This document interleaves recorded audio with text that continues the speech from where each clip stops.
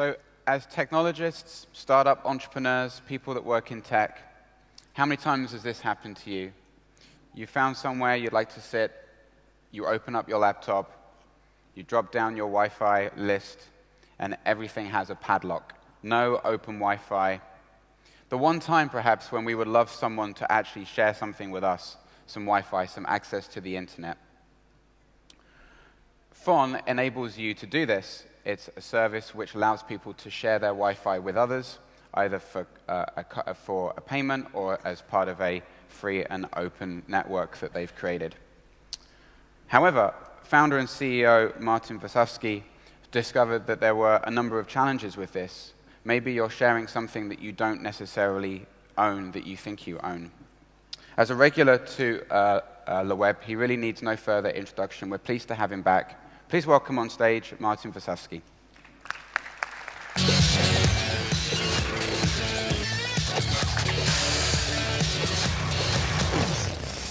Well, it's, uh, I'm very happy to be here, especially following after my daughter and Carolina. That was a very special moment for me.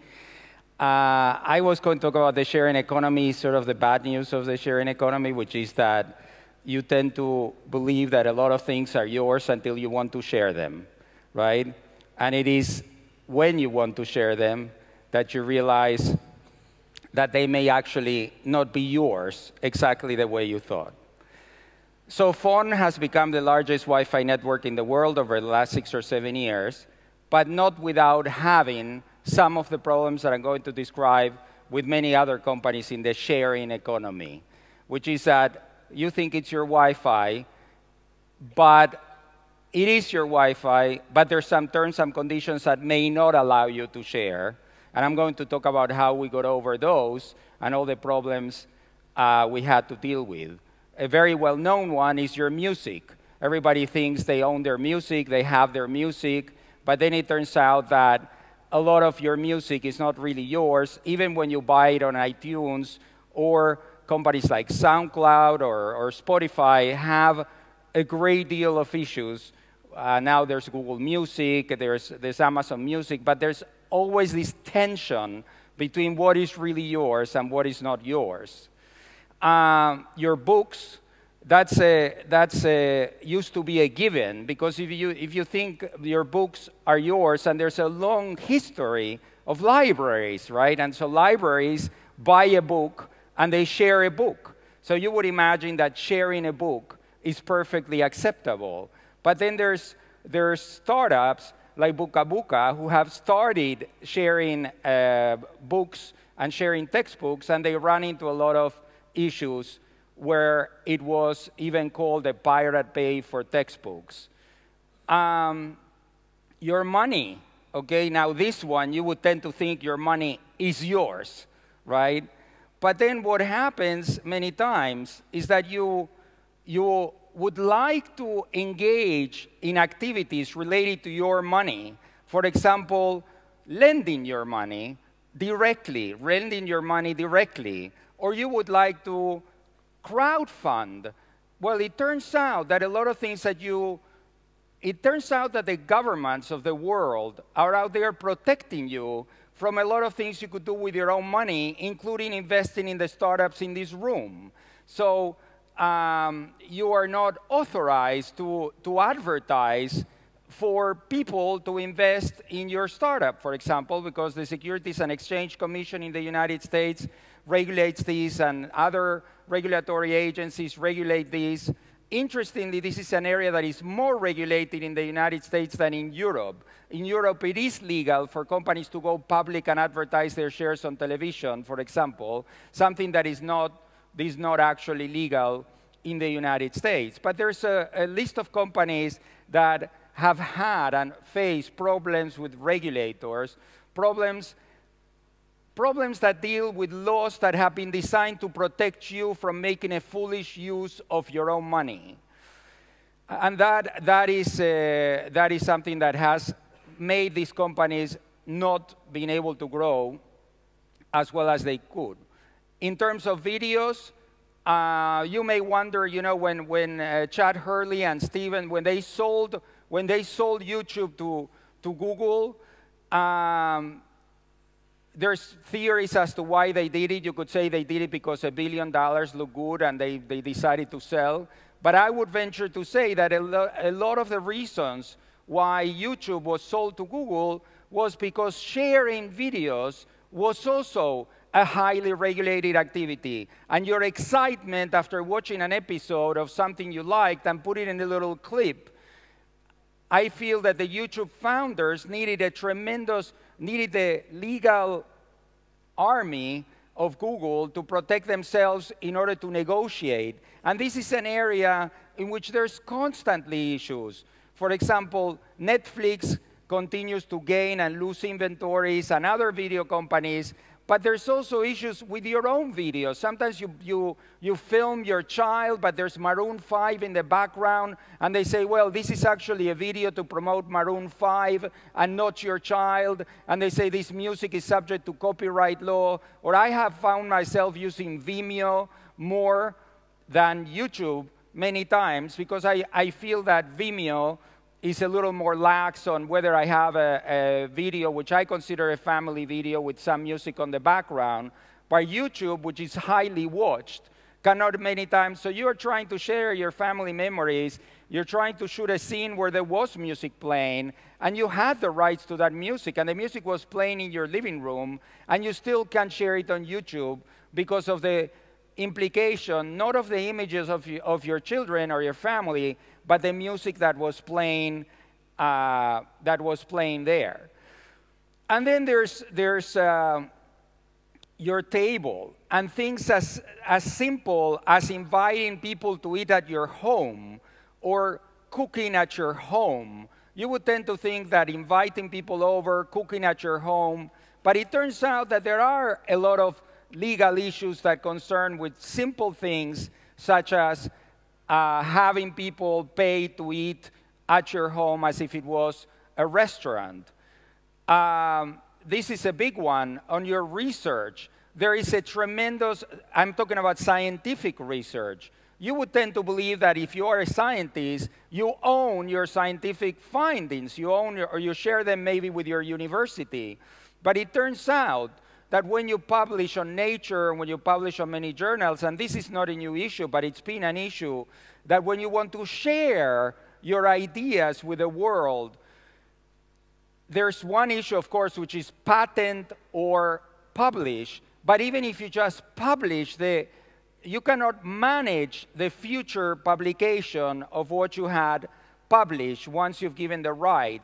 And this is an issue that that's been historical but it has been exacerbated by the fact that the fact that universities are still buying journals and scientists who are not associated with universities uh, suffer because they don't have access to these journals. You probably all heard about the tragic death of Aaron Swartz and the whole concept of information wants to be free.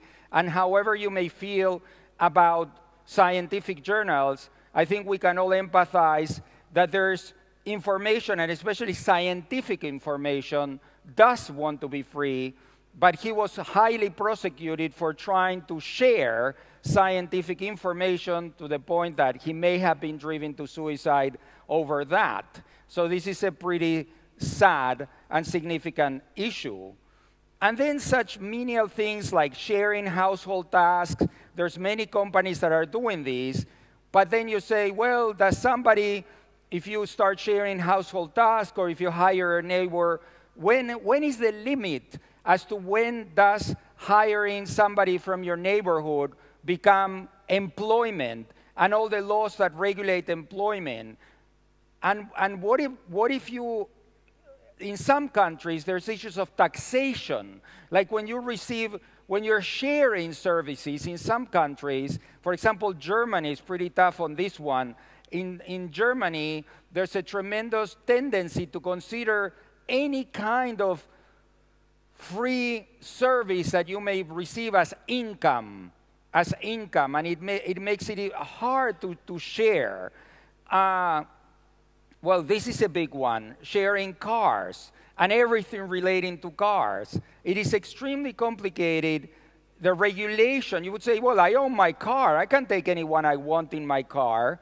But when you do that, you run into a lot, a lot of regulations that relate to the insurance in your car, who's allowed to drive your car, who may come and, and uh, what if you charge? If you charge for these, there is, a, there is a significant monopoly that has been granted to fleet operators. For example, in New York City, they're sold medallions that sell for hundreds of thousands of dollars, and these, they, and operators believe that they have a monopoly right or some kind of monopoly right. The taxis believe they have a monopoly right.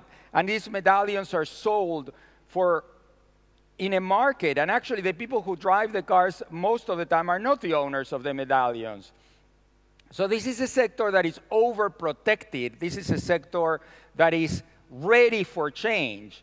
But when companies try to change this, companies like Uber or more concretely Lyft, Lyft is more part of the sharing economy in the sense that it's a regular person who's in essence acting like a taxi driver. But it's a donation system because it tries to avoid, avoid the whole regulation that relates to, to uh, driving a car for money. And, and I understand that all these laws were made to protect people because it's interesting, all these laws were made to protect people from unscrupulous operators. But I think the sharing economy has proven that there's a lot of nice people around the world and that there's a lot of people who would like to share, and there's a lot of people who would like to make some money sharing, but they also see another value in sharing, which is getting to know people, getting to relate to people, and that there is a contrast between the consumer, the pure consumerism and the sharing economy, and that is something that has to be acknowledged by insurance companies and by all the other players that exist in the environment. Now, the, another gigantic problem comes when you want to share your house. And I think most people truly believe that their house is theirs, right? I mean, that, that, there's no doubt about that. And you should be able to share your house, to rent your house, especially if you're not a tenant yourself. If you're the outright owner of your house, why wouldn't you be able to rent it? If, you can, if you're allowed to rent it by the month, if you're allowed to rent it by the year, why shouldn't you be allowed to rent it by the week? Which is, let's say, what Airbnb and all these other companies do. But as you know, Airbnb has been running into a lot of problems in Berlin, in New York, in Amsterdam. Why? Because homeowners are not organized. They're not well organized. They're not as well organized as hotel owners. Hotel owners are organized in associations, and they also pay a lot of taxes to the city. So the cities tend to side with hotel owners because the hotel owners are organized to collect taxes and pay them to the city. And there is a significant issue with renting your home um, that hasn't stopped Airbnb. I wanted to touch also on open source. Open source is an amazing movement in which people share for free their uh, software and their software production and the, and the making of programs. But open source runs frequently into patent problems. I mean, what happens is people are working in open source, and then a company that owns a patent comes into the picture and says, You cannot even do this sharing that's going on for free. And that an open source is huge. All these services are huge. But I'm trying to focus on the paradox that sometimes not even your work is yours. Somebody discovers that your work somehow infringed on the work of someone else, and you run into the patent issue. So, the problems with sharing are clear and self evident. But now I'd like to speak about the solutions for the problems of sharing. And I'd like to end this presentation with two cases or two strategies for all of you who are working in the sharing economy. I only see two way out, two ways out of your problem. The first way out, I'm going to explain, is the one we undertook at FON. FON now has 8 million hotspots, growing to 12 million hotspots this year. We're active in, in Europe, of course. We're active in, in Latin America, in, in Africa, in, in Asia. We have tested all the, all the legal systems of the world. And you would say, well, why are you, how come FON is so successful considering that the terms and conditions many times say you, you cannot share your Wi Fi. And here comes one of the two strategies to fight the problems with sharing. And that is that you can convince the people who are blocking you that sharing is good for them, that actually their terms and conditions are hurting them. And that's why FON so successfully was able to convince companies like British Telecom to share their terms and conditions, become our partner, a wonderful partner. As you see all over the UK here, you see BT with uh, Wi-Fi with FON, they're, they're, and they became even our shareholder. So you could say, well, how can you, how did you manage to turn the people who had these terms and conditions that wouldn't allow to share into your partner and shareholder. And the same with Deutsche Telekom, and the same with MTS of Russia. And we're partners with SoftBank in Japan. We were able to do this practically all over the world, Oi in Brazil. How did we turn our enemy, quote unquote, into a partner? Well, it turns out that sharing is many times accretive, that sharing is a proposition that can increase value and that is something that people always ask me. How did you get away with having FON everywhere? How did you convince the regulators to change the laws everywhere? And I'm like, I never, I didn't convince the regulators. I convinced the telcos. How?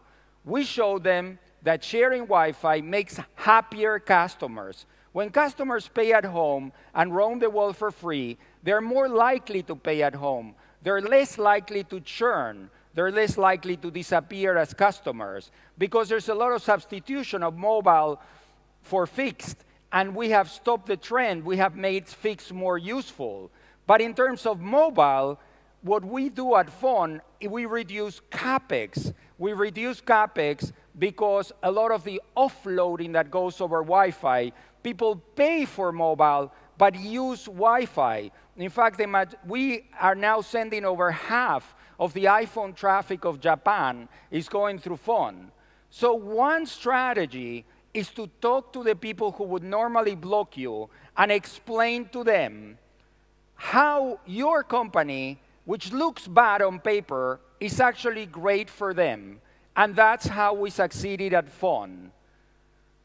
Lastly, I'm going to talk about what about the situation in which you cannot do that?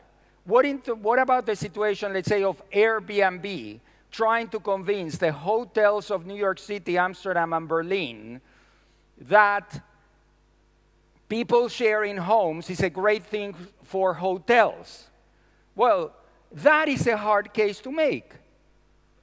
But politicians, and here enter the picture politicians, the second strategy is if you cannot convince your potential enemies or the people who are blocking you into becoming your friends and your partners like we did at FON, you have to convince the average person, the, the citizens of the country, that a certain group of laws that were made to protect them actually are hurting them.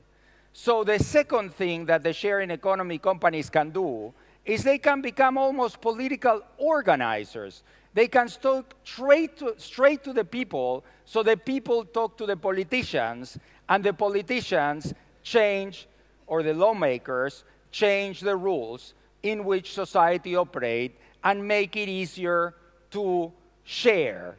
Now, the good news, to end in a very positive note, is that most of the problems with sharing are being overcome either by alliances with the companies that used to be enemies, who see the value as it happened in the case of FON, or by going straight to the people and explaining to the people the benefits very much like, for example, free trade is an activity which tends to hurt some individuals but tends to benefit the society as a whole. Sharing is an activity which sometimes hurts a few companies but tends to help society as a whole. Thank you very much. Mm.